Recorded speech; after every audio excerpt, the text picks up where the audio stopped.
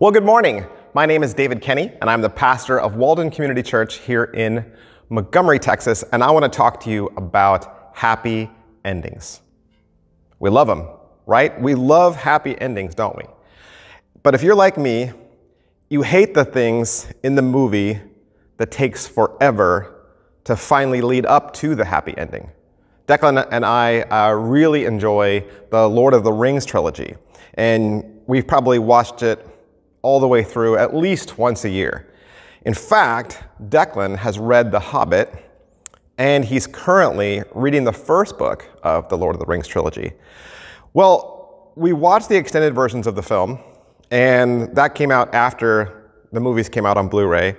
And if you watch all three extended versions, that is 11 hours of movie watching. Yep, 11 hours for three movies. And the last film, The Return of the King, has been criticized for having an extensive ending. The epilogue is almost an hour long. It takes one hour for the main characters to all take their curtain bow. But come on, I mean, you just watched 10 hours of story. You know, I paid my $10.50 for this ticket, and by golly, I want my happy ending. And, and sure, there's some kind of, you know, schmaltzy moments. There's some tearjerkers as saying goodbye to Frodo as he gets on the boat to leave Middle Earth, and then going home with Sam and seeing him hug his kids and kiss his wife. It's magical, it's typical, but guess what? I don't care. I got my happy ending. We don't care how corny the story becomes because I think deep down we all want that. We all want that to ride off into the sunset. We want the adoption letter to come at the last minute. We want to see the lovers embrace and kiss. We want our happy ending. Friends, this is what you have in Jesus already, right? Because no matter what we go through in life, if you have Jesus, then you have your happy ending. There is a lot of sadness and there is a lot of fear right now in the world. You can adopt an attitude of doom and gloom. Right now in 2021, just by watching the news, California is on fire. People we know have COVID. Uh, people we know are dying from COVID. And it's getting worse. Again, not better. We didn't turn a corner. It feels like we slipped back down the hill. Tropical Depression Fred made its landfall in Florida. The Taliban have taken over Afghanistan watch the news for longer than five minutes, and yes, you get this feeling of being fearful. But not the believer. Because tomorrow is just another day, and that day leads us to the greatest day. And we know how the movie ends. Romans 8:18 8, says, "For I consider that the sufferings of this present time are not worth comparing with the glory that is to be revealed to us. Philippians 4 says, Rejoice in the Lord always. Again, I say rejoice. Let your reasonableness be known to everyone. The Lord is at hand. Do not be anxious about anything, but in everything, by prayer and supplication with thanksgiving, let your requests be made known to God. And the peace of God, which surpasses all understanding, will guard your hearts and your minds in Christ Jesus. Corrie ten Boom grew up in a religious family. And during World War II, she and her family harbored hundreds of Jews to protect them from the arrest from the Nazis. She was betrayed by a fellow Dutch citizen. Her entire family was imprisoned. And Corrie survived and she started a worldwide ministry. And later, she ended up telling her entire story in a book called The Hiding Place. My grandmother used to read us this book when we were very young. A quote from Corrie ten Boom, and uh, this is something that Joanna and I have held very dear to us our entire marriage. Never be afraid to trust an unknown future to a known God. Last week, we said that our jumping off point, our first step on this road, this path, is that we needed to begin from the most simplest spot from the very beginning, and that beginning is God loves us, right? God loves you. How does that message make you feel? when you hear that God loves you? Does it give you joy? Because Christians are supposed to be joy filled. We're not supposed to be doom and gloom. We're not supposed to be nervous or scared or in fear. We're not supposed to be looking for conspiracies. We're not supposed to be afraid of the government or afraid of the news or afraid of big pharma. Christians are supposed to be full of joy. God has his love, and that love goes in, and then the joy comes out. Church. Church. This is where we worship. This is where we worship an all powerful, all amazing God who made us. He made us unique. He hand knit us. He loves us. So we should be joy filled. It should show on our faces when we worship. We should smile. We, when we worship, we should clap. We should shout. We should raise our hands. Well, I wasn't raised that way. Okay. I wasn't either. 1 Samuel 13 says David was a man after God's own heart. He made a lot of mistakes, cheated on his wife, killed a lot of people in war, but nobody could argue that that guy didn't know how to worship. In 2 Samuel, David is crowned king, and immediately he begins a military campaign to defeat God's enemies, the Philistines. And after defeating the Philistines, David and his company, they parade back into town. 2 Samuel 6 says, And David danced before the Lord with all his might. And David was wearing a linen ephod. So David and all the house of Israel brought up the ark of the Lord with shouting and the sound of the horn. And as the ark of the Lord came into the city of David, Michal, the daughter of Saul, looked out of the window and saw King David leaping and dancing before the Lord, and she was despised in him in all her heart. David is wearing a linen ephod, which is the breastplate of the high priest. But the Bible doesn't say what else he's wearing or not wearing. What we do know is that his wife was mad at him, and she said that her actions were embarrassing. She says in verse 20, How the king of Israel honored himself today, uncovering himself today before the eyes of the servants, female servants, as one of the vulgar fellows shamelessly uncovers himself. See, this is why Baptists are afraid to dance. People dance in the Bible and then they get yelled at. David's wife sees her husband, the king, not dressed like a king, and certainly not acting like a king. And this is how David responds to the criticism. It was before the Lord who chose me above your father and above all his house to appoint me as prince over Israel, the people of the Lord, and I will celebrate before the Lord, and I will make myself yet more contemptible than this. David says, I'm worshiping God. And you think that you think that was bad? You think that was embarrassing? I'm willing to become even more undignified for God. I will gladly embarrass myself even further. I am not ashamed to raise my hands or to dance. In fact, you know the word uh, hallelujah, right? Hallelujah. Uh, Christians use that. We shout that out in church. And for those of you who've listened to my sermons for any amount of time, you know I love etymology. You know I love uh, language, finding out where words come from. Hallelujah is a compound word. The beginning is the word hallel. Hallel uh, just means to praise, okay? And Yah is the first syllable of God's name, Yahweh. So hallelujah literally means praise God. But wait, there's more. Hallel can also mean to move in a circle, or to dance, or to celebrate. So whenever you say hallelujah, what you're really saying is, my heart and my life dances and praises God. Why is David leaping and dancing? David leaped and danced because of God, because of the joy that was in his heart. Worship is my response to all that God does for me. And so, therefore, I choose joy. Joy is my choice. Joy and celebration are a choice. That means joy is not dependent on my circumstances. How come you don't smile when you sing? Move your arms, move your hips, shout hallelujah. Eh, I don't feel like it. I want to read to you something. This is Paul listing out all of his hardships.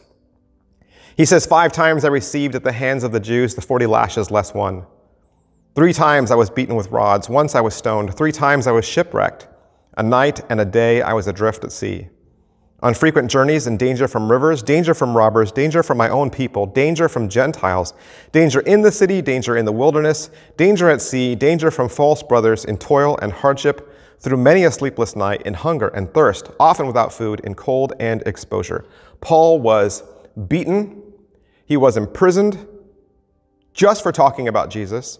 He was hated by his own people. He was uh, considered a, a traitor by the Pharisees. He was arrested, beaten, thrown in jail. Did that kill his joy? Did Paul's circumstances kill his joy? What does Paul say? From prison to the church in Philippi, rejoice in the Lord always. I will say it again, rejoice. Seems impossible, doesn't it? You know, you, you, you know those people, right? You know those people, they're always happy. They never say a bad thing about anyone ever.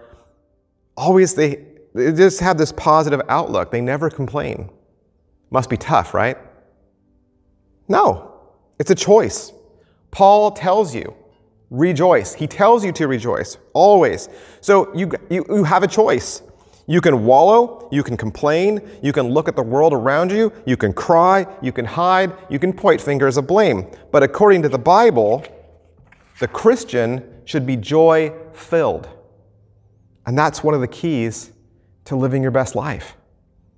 Social media, for example, they put a lot of pressure on you. There's a lot of specific expectations of what it means to live your best life.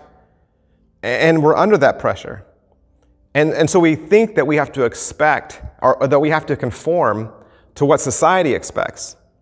For example, we're pressured to look a certain way, or to be a certain weight, or to wear certain clothes, or to have exciting adventures, or to drink a certain cup of coffee, or to have eye catching friends, or to be married, or to be single, or to be ethical, or to eat healthy food, or to do charity, charity work. It, it, the list goes on and on and on and on. But in the end, we are spending too much time worrying about what other people are doing or what other people expect of us, what society expects of us, and then we begin to lose track of what makes us happy, of what brings us joy, and what living our best life really looks like. You have a choice. You can take action. You can live your best life. Or you can do nothing. You can cry about it. You can stay at home. You can protest. It's up to you. So take Paul's advice choose joy. Paul says, choose joy always. How? Just walk around with a smile on my face? No. No, no, no. And since Pastor Paul is the one telling us to be joyful, let's just continue to seek his advice, okay? He says in that same book, in Philippians, not that I have already obtained this or I'm already perfect, but I press on to make it my own, because Christ Jesus had made me his own. Brothers, I do not consider that I have made it my own, but one thing I do, forgetting what lies behind and straining toward what lies ahead. I press on toward the goal for the prize of the upward call of God in Christ Jesus. Paul says, forget your past. Forget it. Forget your past. It's done. It's over. You can't go back and fix it. Stop dwelling on it. Stop thinking about it. Just move on. Let it go. All those mistakes, all those failures, all those hangups, forget it. Because if you don't, you're going to spend the rest of your life rehashing arguments and, and conversations. You're going to be digging up all the ghosts of your past. You know, I said earlier, we all want a happy ending, right? Well, sometimes when we revisit the past like that and we dwell on our mistakes, what we're doing is we're cycling through those things to see if maybe we screwed up. Did I screw up? Did I ruin the chance of me having a happy ending? You didn't. See, the good news is you, you don't need that do over. You don't need to go back and fix those mistakes. You are still on the path to a happy ending. You know how I know? Because God is in charge of your happy ending. And he says that he has forgotten your past. Psalm 103, verse 10 says, He does not deal with us according to our sins, nor repay us according to our iniquities. What does that mean? It means He doesn't hold our past against us. Verse 11 says, For as high as the heavens are above the earth, so great is the steadfast love toward those who fear Him. Remember, God loves you. God loves you, but, but, but, where is our sin? Where is our sin? Where did our sin go? Verse 12 says, As far as the east is from the west, so far does he remove our transgressions from us. It's gone. Our sin, our past, is gone. Hebrews 8 says, For I will be merciful toward their iniquities, and I will remember their sins no more. God loves you.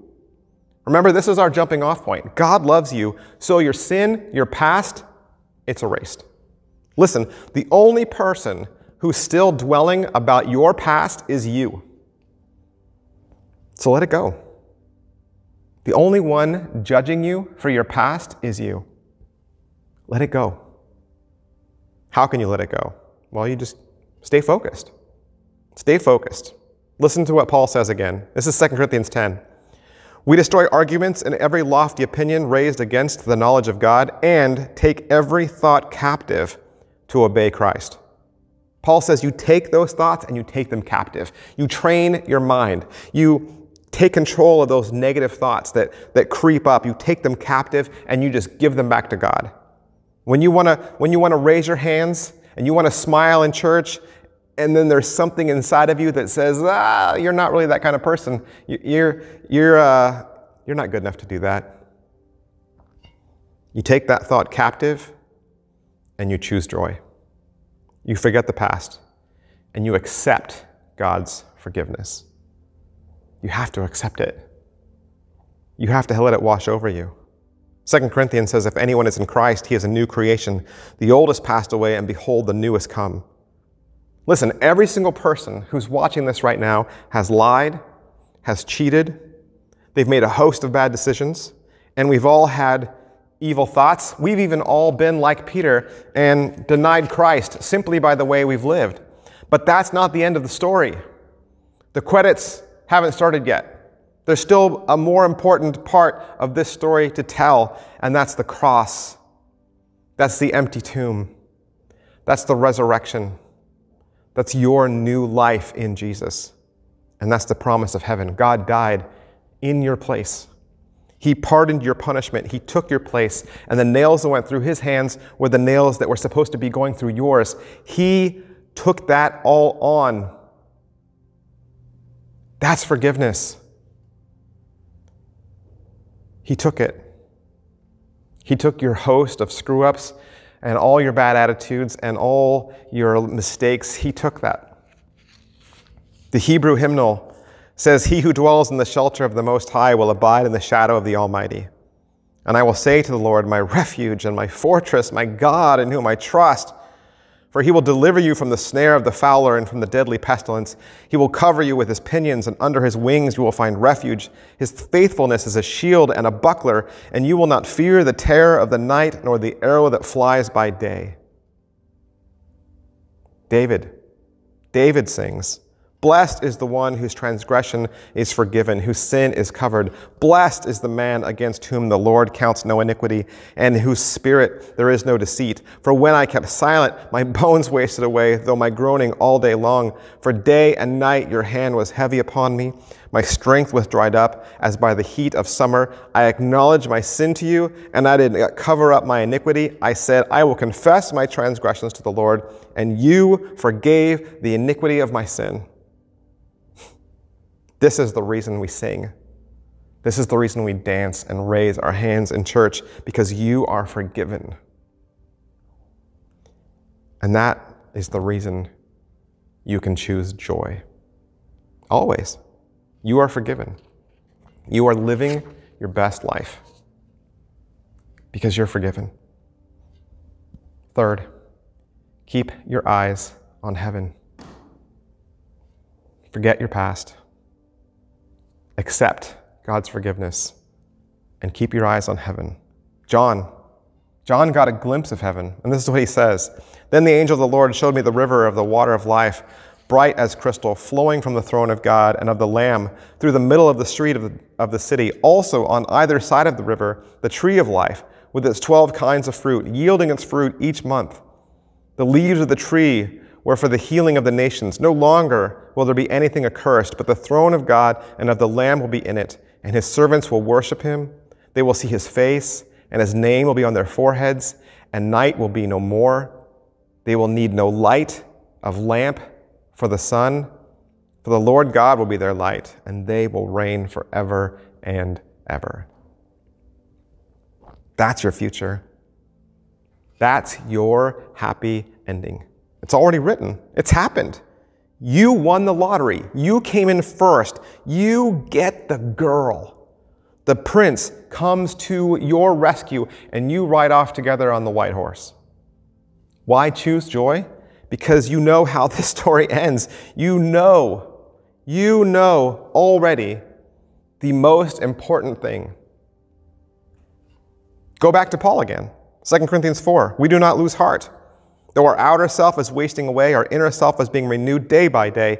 For this light, momentary affliction is preparing for us an eternal weight of glory beyond all comparison as we look not to the things that are seen, but to the things that are unseen. For the things that are seen are transient, but the things that are unseen are eternal.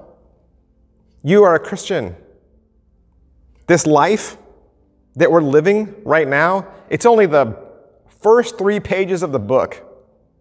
We, we have a long way to go. Keep your eye on heaven. Stop looking down. When you worship, when you sing, don't look at your shoes. Heck, don't even look at your worship team. Don't look at the choir. Look up. Look up. S- Sunday is not the end of a seven day screw up. Sunday is the beginning of an entire week of God's blessing. It is the beginning of an entire week of God's love. It is the beginning of an entire week of God's forgiveness. Live your best life and choose joy always. Choose joy always. Romans 8 says, For I consider that the sufferings of this present time are not worth comparing with the glory that is to be revealed to us. How did Paul choose joy amidst all of his hardships? Because he let the past go. He accepted God's forgiveness and he kept his life in proper perspective because he kept his eyes on heaven. Sunday, this day, this is the first day of potential. This is the first day of a week with God, a week with God's love, a week protected under God's shield a week with God as my refuge, a week with God as my fortress, a week where God is my light and He is my sun forever and ever. You don't face these next seven days alone. The same God who parted the Red Sea and brought down the walls of Jericho, resurrected Lazarus, is going with you in your life right now. And God loves you. And He's offering you your best life a life of love, a life of joy, actually, overflowing, all encompassing joy. Choose joy always. Let's pray together. Lord, thank you for your gift of joy, the gifts that you give us the rain that comes down, the blessing, forgiveness, grace, acceptance, adoption, love. Lord, I have no reason to not live in joy. You have erased my past, you have forgiven my sins, and you lead me ever onward with your light. Lord, may the only thing from my mouth be joy. May I preach your kingdom come and your will be done these next seven days. May I leap and dance and sing in your kingdom because I am your son, I am your daughter, and you are my heavenly Father. Not just for today or tomorrow or the next week or the next year, forever. Forever and ever and ever and ever and ever. Amen. I love you guys. Thanks for hanging out with us this day. Don't forget, you can always come back here. We got a weekly devotional that begins uh, our week, kind of lets you know what to expect coming up in the sermon series. And uh, these sermons, the, the pre- preaching sermons, will always happen a little later in the day now. We're trying to encourage you to come back to church, return to church. We want to see your faces. We want to see those hands. We want to see those smiles. We have two services, 9.30, uh, our traditional service with our choir, and 11 o'clock, a little bit more contemporary uh, with our worship team. And we also have youth group that meets at that time. We also have a youth group that meets during the week every Wednesday at 6 o'clock. It's open to any youth that want to come, any youth at all. We love you guys. Stay safe. I'll see you guys next time. Bye.